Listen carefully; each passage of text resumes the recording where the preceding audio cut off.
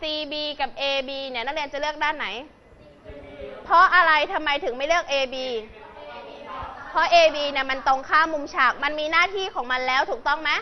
เราจะไม่ใช้ด้านซ้ำซ้อน เราจะไม่ใช้หน้าที่ซ้ำซ้อนเดี๋ยวมันเหนื่อยจ้านะคะ เราต้องใช้ให้คุมทุกด้านนะ เราจะไม่ใช้ซ้ำซ้อน ส่วนตัวสุดท้าย ข้ามส่วนชิดก็คือด้านตรงข้าม มุมนั้นๆ อย่างโจทย์บอกนี้ว่าแทน b ก็คือตรงข้าม b ส่วนชิดก็คือประชิด b นะคะ ข้ามฉากชิดฉากข้ามชิดจำได้ไหม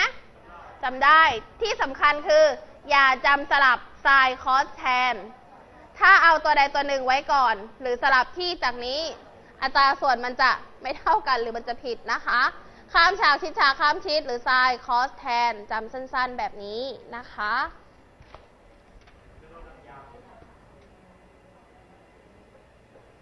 ทีนี้ต่อไป ตัวอย่างต่อไปค่ะ จงหาค่าของ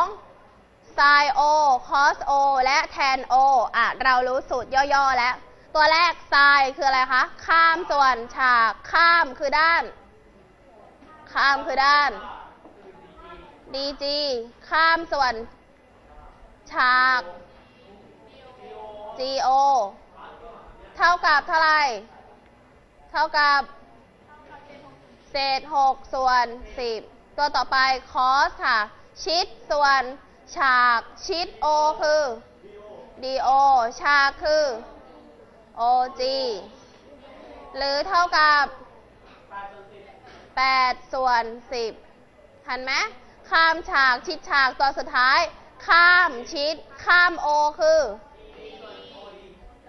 g d ส่วนชิด o g หรือเอ่อ od หรือ do ก็ได้ ก็คือเศษ 6 ส่วน 8 อีกหนึ่งข้อสำคัญที่อยากให้สังเกตนักเรียนดูนะคะ เมื่อเราหาไซน์ได้ เมื่อเราหาคอสเอ่อได้ ตัวสุดท้ายแทน แทนแล้วก็จับตัวบนมันเห็นไหมมาเป็นอัตราส่วนกันเท่านั้นเอง ก็คือข้อนี้ เห็นไหมคะ วิธีการดูง่ายๆ ถ้าเราหาไซน์ได้ ถ้าเราหาคอสได้ ตัวสุดท้ายแทนเราก็แค่จับตัวเศษมันมาเป็นอัตราส่วนกัน 6 กับ 8 เป็นเศษ 6 ส่วน 8 แค่นี้เองนะคะ หรือถ้าใครอยากหาทุกตัวหาให้ครบก็ได้ แต่ใช้วิธีนี้เป็นการเช็คคำตอบ เพราะว่าแทนเป็นอัตราส่วนระหว่างไซน์ส่วนคอสจำกฎข้อนี้ไว้ด้วยนะ แทนเป็นอัตราส่วนของไซน์กับคอส หาได้ยังไง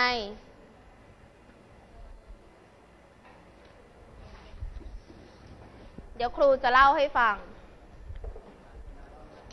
ครูเป็นนักเล่าเรื่อง อะไรนะคะ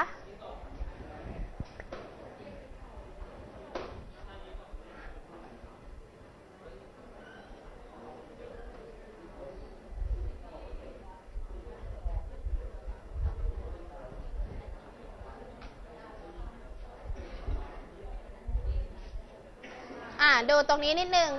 ขอภาพทีวิชวลค่ะ นักเรียนห้องปลายทางดูตรงนี้ด้วยนะคะ ครูบอกว่าค่าแทน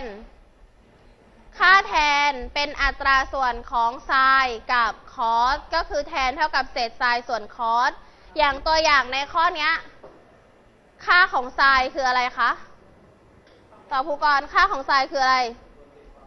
เศษ6ส่วน10ใช่หรือไม่ คอสคืออะไรคะ เศษ 8 ส่วน 10 เอามาเทียบอัตราส่วนกันจะได้แทน เท่ากับเศษ 6 ส่วน 10 ใช่ไหม คิดตามสูตรนี้นะ ดูตามสูตรนี้ก่อนนะคะทำไมต้องสอนสูตรนี้เพราะว่าเดี๋ยวถ้าเราไปเจอไปเจอตัวเลขอื่น ๆ ที่มันไม่ได้ให้โจทย์มาครบทุกอย่าง นั่นหมายความว่าเราต้องหา อะ ดูตรงนี้ไว้ แล้วเอามาเทียบอัตราส่วน เศษ 6 ส่วน 10 ส่วนด้วย 8 ส่วน 10 ทันไหมตรงนี้ก็คือไซน์ส่วนคอสทีนี้ถ้ามันหารซ้อนกันแบบนี้ต้องเอาไปทำอะไร เปลี่ยนหารเป็นคูณ เปลี่ยนเศษเป็นส่วนเปลี่ยนส่วนเป็นเศษก็จะได้เศษ6ส่วน10 เปลี่ยนหารตัวนี้เป็นคูณ ได้เศษ 10 ส่วน 8 ตัดทอนได้ไหมได้ตัดไป 10 กับ 10 ได้เท่ากับเศษ 6 ส่วน 8 นี่แหละเป็นที่มา ทันไหมคะ ทันเนาะ ที่ต้องสอนตรงนี้ก่อน เพราะว่าเดี๋ยวถ้าเราไปเจอเจอโจทย์ในอนาคต เบื้องหน้า ว่ามันคืออะไร มันหามาได้อย่างไร ว่ามันทำอยังไรนะคะนักเรียนใช้ตรงนี้ประกอบว่าแทน มันคืออัตราส่วนของไซน์ส่วนคอสแต่ในที่นี้ครูให้หลักการจำไปเลย สั้นๆจดไว้ประกอบตรงมุมเล็กๆ จดด้วยปากกาแดงก็ได้ ใส่วงกลมครอบไว้เล็ก ๆ ให้เรารู้ว่าแทนมันคือไซน์ส่วนคอส และอย่าลืมวิธีการหารเศษส่วนซ้อน เปลี่ยนหารเป็นคูณ กับเศษเป็นส่วนกับส่วนเป็นเศษนะคะ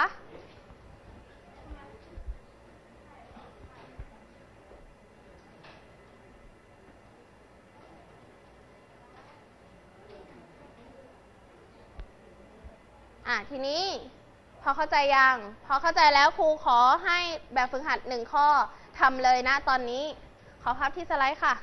ทำเลยนะตอนนี้ สามเหลี่ยม x y z มีความยาวของด้าน x y เท่ากับ 12 ความยาวของด้าน y z เท่ากับ 9 และความยาวของด้าน x z เท่ากับ a สิ่งที่เราต้องหาคือ sin x cos x tan x และ sin z cos z และ tan z ขั้นแรกรูปนี้เราต้องหาอะไรก่อน หาค่าอะไรก่อน หาค่าอะไรก่อน หาค่า a ซึ่งค่า a เนี่ยเป็นด้านอะไรคะ ด้านตรงข้ามมุมฉากถูกต้องไหมเราต้องหาค่า a ก่อนหาค่า a โดยใช้อะไรดีปีทาโกรัสนะคะ บางคนหาได้เรียบร้อยแล้วนักเรียนก็ทำต่อได้เลย เขียนขั้นตอนการหาค่า a ให้ครูสักสองสามบรรทัดนะ ไม่ใช่อยู่ๆเพื่อนตะโกนออกมาเลขอะไรเอาเอาเลยแหละ หาให้ครูก่อนนิดนึง ว่า a มันเป็นมาอย่างไรถึงได้ค่า a อ่าแนะนำห้องปลายทางด้วยนะคะ ขั้นนี้ครูให้รูป x y z มาสามเหลี่ยม x y z นะคะ เรายังไม่ทราบค่า x z หรือค่าด้านตรงข้ามมุมฉาก ใช้พีทาโกรัสในการหาซะก่อนนะคะได้คำตอบค่า a แล้วใช่ไหมอ่าได้แล้วก็ไปหา sin x cos เอ่อ x tan x นะคะ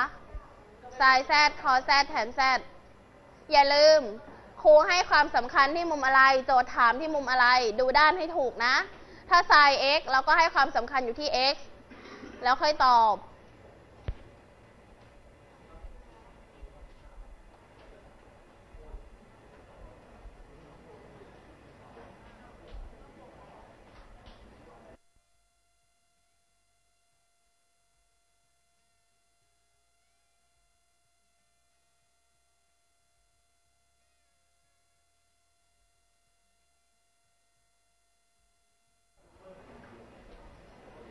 ร็จยัง เรียบร้อยยังอ๋อใจเย็นค่ะ รอได้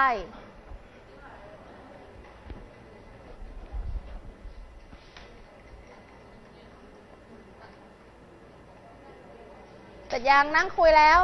เสร็จแล้วหรอ